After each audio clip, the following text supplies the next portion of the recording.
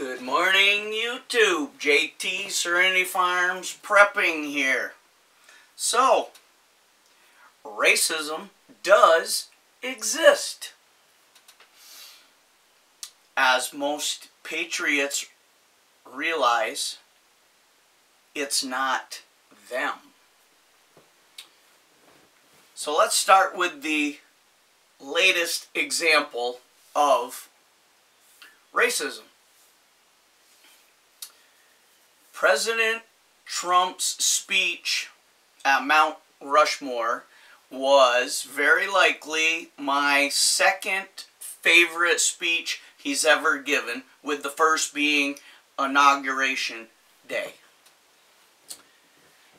Immediately, if not sooner, the left, who hates America and makes no secret about it anymore. It literally drools down out of their evil satanic mouths. So before the speech was even done and during and after, they just couldn't contain themselves. Panel after panel after panel of American hating racist were on every major fake news channel pontificating and spewing lies about the president's speech as he was making it. It was blatantly clear to anyone with half a brain, which leaves out approximately half the population, that the president's speech was clearly intended to bring us together, unite us, form a common bond to keep this country working for everyone. Yes, there are hiccups.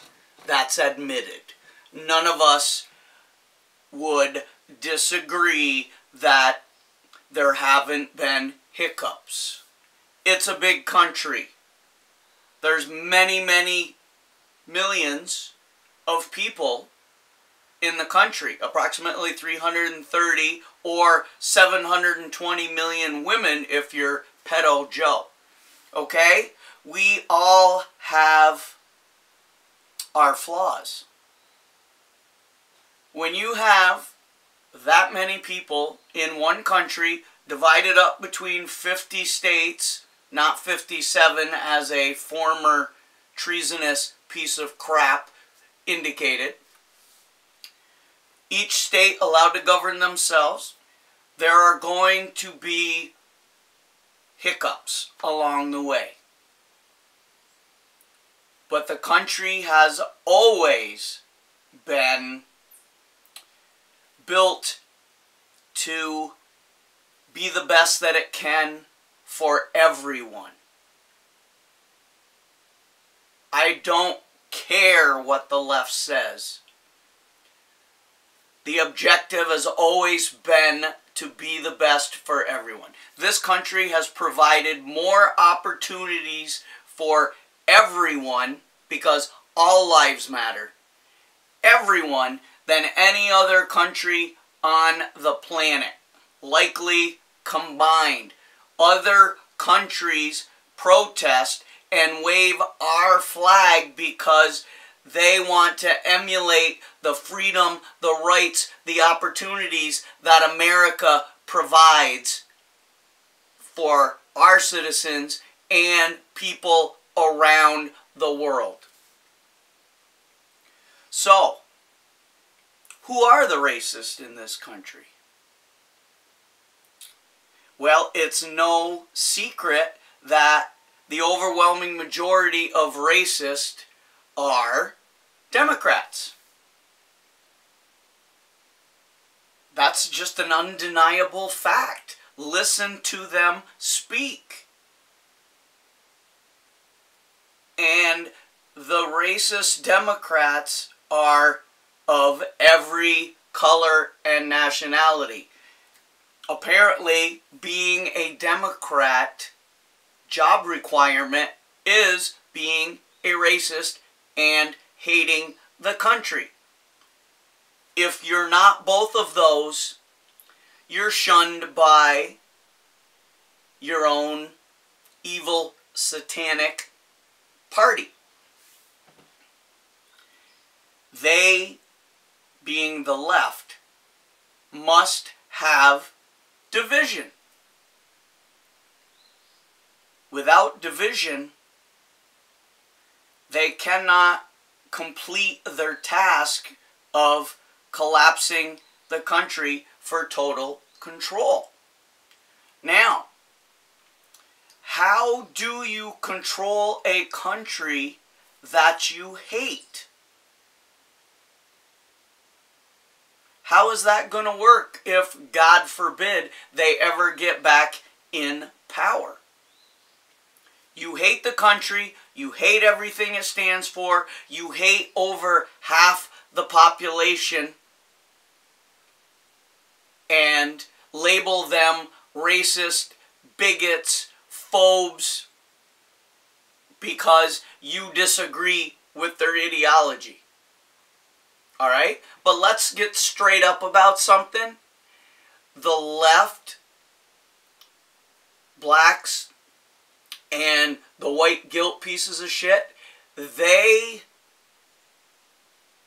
don't hate us as much for our ideology as they do because they are racist. That's not PC, but I am not PC. There is an overwhelming majority of blacks who have always hated whites. It's just the way it is. There are whites who hate blacks. That group is very minute. That means small for libtards. Okay? We did away with that. 600,000 white folk gave their lives to free the slaves. But we're racist. Not one of us within the sound of my voice was alive during that time period, was a slave or a slave owner. Okay? But this isn't about slavery.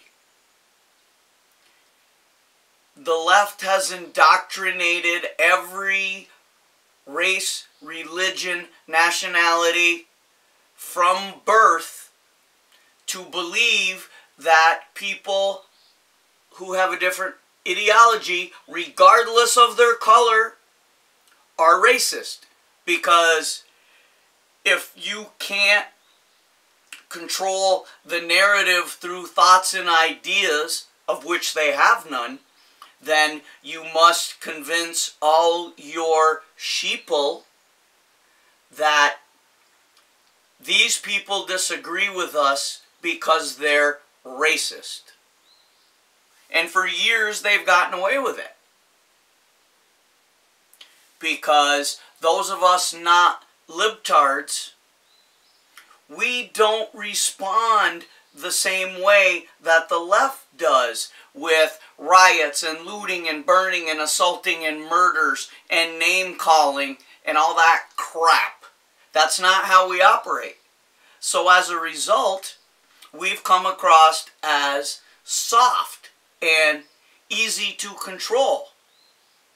And that appearance has allowed them to take advantage of spineless, gutless politicians on our side. Okay? But back on racism. The left is comprised of racist. There's no other way to state that. Just listen to them speak.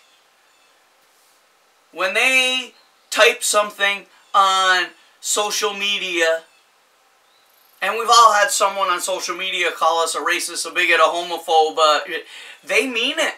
They're not just using it to try and silence you. They mean it. They believe you are a racist because that's all they've grown up with and they know they can say it and get away with it. Well, they're finding out now the overwhelming majority of Americans that are tired of being called racist are starting to fight back. Which is what a good portion of the left has been hoping for. But make no mistake about it, as you listened to all the anti-Americans spewing their crap about the president's speech on July 4th.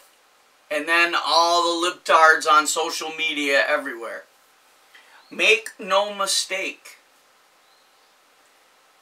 They believe the president is a racist with zero evidence the entire man's life, overwhelming evidence to the contrary, and we're racist because we voted for him. Because if we're voting for someone they deem a racist, then we must be racist by default. But yet, every group you see on the left, every terror organization, the BLMs, the Antifas, the Pink Pussy Hats, all of them are racist. They make no mistake. They don't put any shade on it. They don't care because they're liberals. They can't be racist because they're woke. But make no mistake, they are the racist. Now, I'm not going to lump every single libtard as a racist. But the ones who are not must prove themselves to us. Because your silence, to me, you're not speaking out against the vitriol, the hatred, and the racism coming out of your party is affirmation, confirmation to me that you agree with what they're saying. I don't want to hear, I can't speak out against them, I'll be an Uncle Tom. Well, then maybe you ought to get out of the damn party and move to a group that doesn't care what color you are, what sex, there's two by the way, what nationality. It doesn't matter to us. Be a human being, get treated like a human being. Respect. It's a two-way street. Okay? I have no respect for the left. Nobody on the left. Do I believe every person who designates themselves as a Democrat is a racist, a bigot, a phobe, an anti-American? No. But I'm not going looking for them. That's like a needle in a haystack. Prove to me. Get off the plantation. There's plenty of folks leaving. But make no mistake. I know I've said that a lot. This it is time for us to stand up for ourselves. Okay? The libtards know we're not racist, bigots. Everything they call us is what they are. That's what Democrats do. They project. Always. That's what they have. That's all they have. Name a thought, an idea, anything that they mention that's good for the country. None. They have none. Everything they ever come up with is a power grab, a money grab, total control grab. Once again, how do you control, how do you govern a country and people that you hate? Imagine you're a parent who hates your children. How do you raise them? Imagine you're a teacher who hates the country. How do you teach them? Imagine you're a military officer who doesn't love the country or their troops. But you're going to be sending folks into battle or supposedly defending our nation. And I'm going to tell you straight up, I got those three quotes from Tucker Carlson. He did something very similar yesterday, nailed it. How do you govern a country and a people that you hate?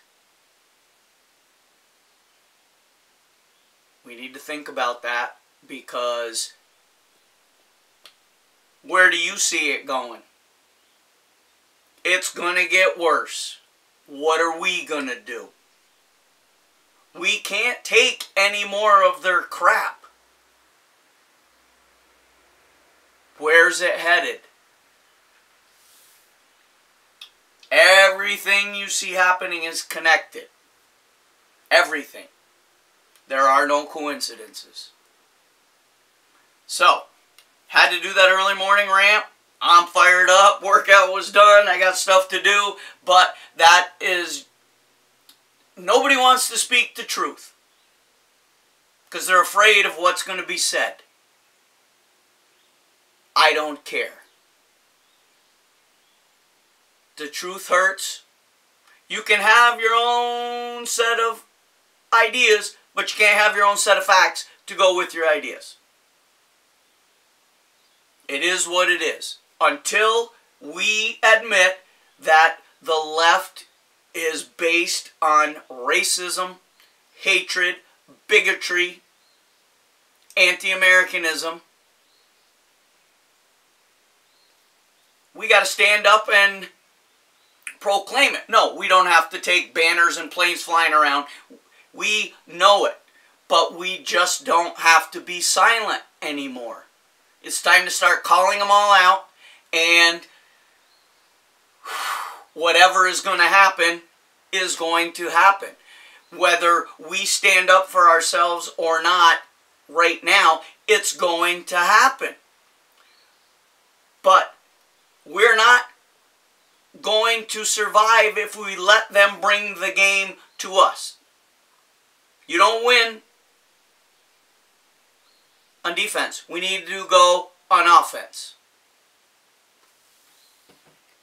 And admitting who your enemy is is the first part. Because if you can't admit who your enemy is, then what are you doing? And who are you doing it against? Identify the enemy. Then we go from there. We've got to stop being silent. Alright? Whew! Okay. So, like, comment, share, subscribe. I'm sure I'll get some feedback on this one. I hope I do. But, for now, JT, signing off.